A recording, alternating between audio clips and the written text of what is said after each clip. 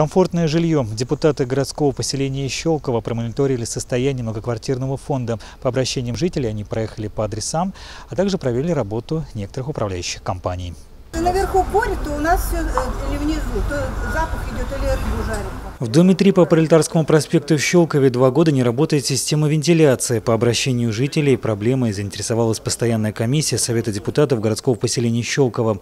Установлением причины неполадок предстоит заняться управляющей компанией. Ее руководитель пообещал жителям и депутатам привлечь к обследованию специализированную организацию для выяснения причины неисправности вентиляции.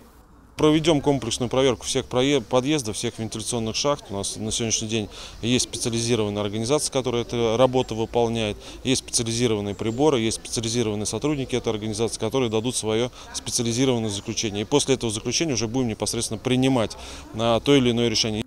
Дому 19 по улице 8 марта в Щелкове более 50 лет. Ему требуется капитальный ремонт внутренних инженерных сетей. Подвал дома регулярно заливает нечистоты. Руководитель управляющей компании пояснил, что знаком с проблемой. Дома перешли в управление МУП ЖКУ с июня 2018 года. Компания проводит работы по откачке канализации и обеззараживанию подвалов. Но из-за устранения проблемы необходимо проведение в доме капитального ремонта системы канализации не можем найти первопричину затока. То есть это происходит периодически. Проблема во внутренних инженерных сетях, необходимо полностью капитально их ремонтировать, потому что износ очень довольно-таки большой. Что мы для этого сделали? Провели с жителями совместное собрание, подготовили комплект документов и ждем, э, чтобы фонд и администрация отреагировал на нашу просьбу совместно с жителями, и чтобы этот дом действительно вошел в программу капитального ремонта.